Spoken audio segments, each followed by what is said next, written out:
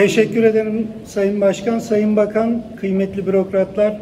Öncelikle hoş geldiniz ve bütçenizin 2021-22 yılı bütçenizin hayırlı olmasını diliyorum. Sayın Bakan, kurumunuzun ve bağlı birimlerin özellikle raylı sistemler konusunda, hava yolları konusunda ve bölünmüş yollar konusunda ve otoyollar, köprüler konusunda son yıllarda ciddi yatırımları oldu. Bu yatırımları takdir ediyoruz. Takdir etmememiz mümkün değil. Tüm vatandaşlarımız gibi. Ee, ve destekliyoruz yenilerinin yapılması için desteklerimiz olduğunu, desteklerimizin devam ettiğini söylüyoruz. Ee, özel sektörle beraber yapmış olduğunuz yatırımlar her ne kadar diğer kamu yatırımlarına göre biraz daha maliyetli olsa da vatandaşlarımız da gene de memnun. İnşallah önümüzdeki dönemde bunları biraz daha hesaplı yaparsak hem kullanım kullanıcı sayısı artacak hem de e, hazineden gerçekten söylendiği gibi bir ücret çıkıyorsa miktarı azalacaktır diye söylüyorum. Tabii bizim en kolay Düzce milletvekili olarak en kolay konuştuğumuz bütçe sizin bütçeniz oluyor Sayın Bakanım. Çünkü 5 4 sene olmuş biz seçileli hemen hemen 3,5 sene olmuş. 3,5 sene önceki konuşmayı açtığımız zaman hiçbir şey yapılmadığı için Düzce'de rahatlıkla aynı sorunları dile getireceğim şimdi. Siz de dinlerseniz belki önümüzdeki dönemde bu kalan bir buçuk sene içinde bir şeyler yaparız. Şimdi Sayın Bakanım siz de Karadenizlisiniz, ben de Karadenizliyim. Akçakoca Karasu Karayolu'nun Melenazı geçidiyle alakalı, Melenazı geçişiyle alakalı hala daha bir yap, yapılan bir uygulama yok, yapılan bir işlem de yok.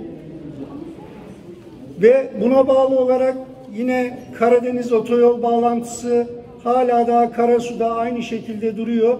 Önümüzdeki dönemde ne kadar zaman içinde yapıldığı ya veya yapılacağı muallakta ve bu karayol otoban bağlantısının otoban yolunun geçtiği yerlerde evleri olan vatandaşlarımız evlerine tamirat yapmakta bile şüpheyle yaklaşıyorlar. Acaba bu sene mi olacak, iki sene sonra mı olacak, üç sene sonra mı istimlak edilecek diye böyle sıkıntıları var.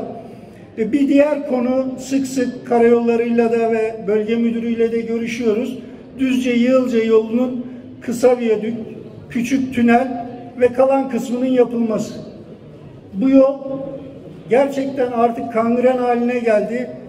Ee, yaklaşık şöyle diyebilirim ki e, 40 senedir bu yola hiçbir yatırım yapmamış devlet.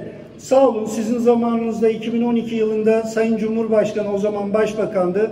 Yığılca'yı ziyaretinde buraya söz verdi ve yolun yapımına 4 sene önce başlan 4 5 sene önce başlandı ama hala tamamlanamadı. Tamamlanamayan yolun kümülatif kilo, kilometresi 20 kilometre. Yani 20 kilometrelik yolu yapamadı. Bu bizim devletimizin zaafından mı? Tabii ki hayır bakalım.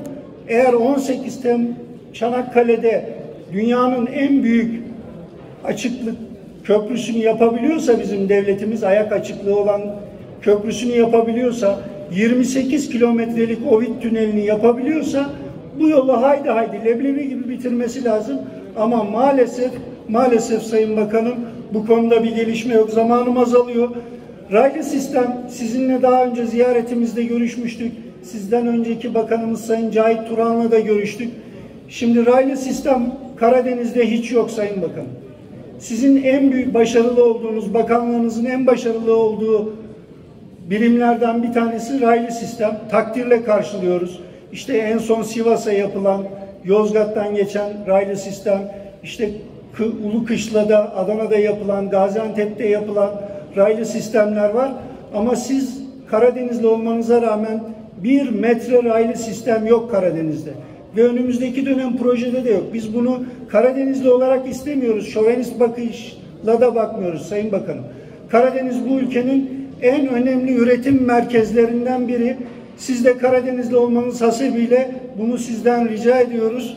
Bir diğer konu Düzce'nin en önemli konularından biri telekom altyapısı. Zamanım bitti. Tekrar hayırlı olmasını diliyorum bütçenizin. İnşallah önümüzdeki dönemde bunları plana programa alırsanız e, sizlere müteşekkir olacağız Düzce olarak diyoruz. Teşekkür ediyorum. Bekir Bey size söz veriyorum. Buyurun. Sayın Bekir Kuvvet Erim AK Parti grubundan. Buyurun üye.